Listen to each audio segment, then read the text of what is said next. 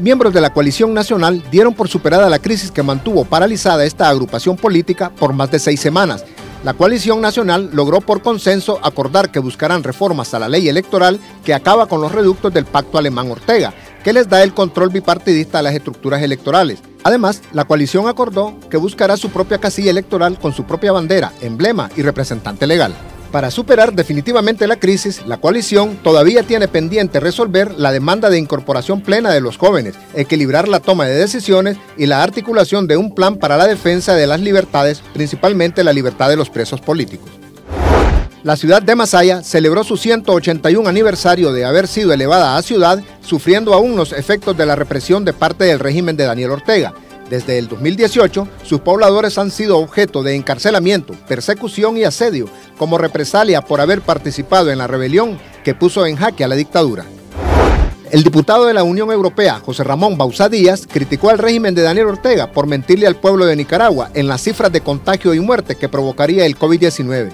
Para justificar la necesidad de un préstamo de 43 millones de dólares, el gobierno de Ortega presentó ante el Banco Interamericano de Desarrollo una estimación de 5 millones de contagios y hasta 23 mil fallecidos que podría ocurrir durante la pandemia. Sin embargo, en el país las autoridades orteguistas siguen minimizando los efectos de la enfermedad. La Alianza Cívica por la Justicia y la Democracia informó que la abogada y catedrática penalista María Asunción Moreno Castillo se incorpora a esa agrupación política a partir de esta semana.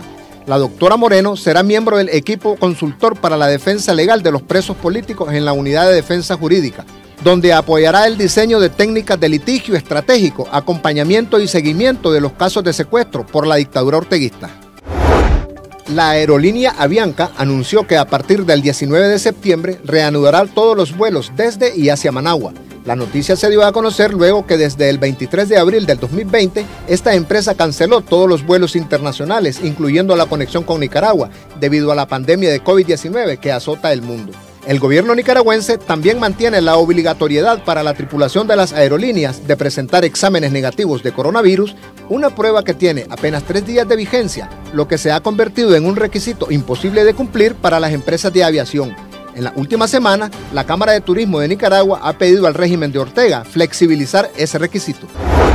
Síganos en todas nuestras redes sociales y suscríbase a nuestro canal de YouTube. Les informó Javier González.